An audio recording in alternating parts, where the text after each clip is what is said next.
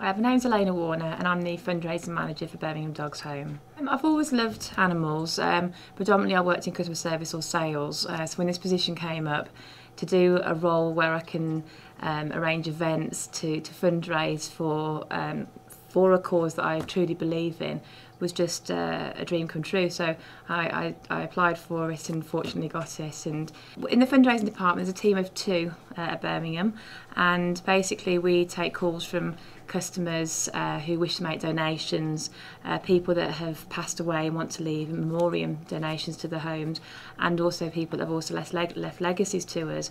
Um, it's it's lovely working in this department because we actually get to speak to people that have had a dog from us and have got that relationship with not only the home but the the dog that they've taken away. It's, it, they've, they, they become a, a family member, and um, we get to hear those stories, and it's really rewarding for us. Many times we'll read letters from people, and uh, we'll end up in tears because it's just so moving.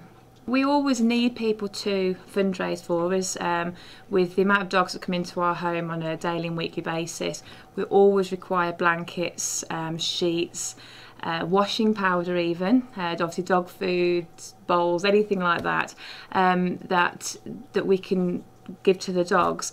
On a fundraising level, people want, might want to do uh, fundraising at work, um, do a marathon, sponsorship of any sorts like that, which we would love to hear from, and uh, we'll send them out a pack and uh, have a relationship with, with ourselves.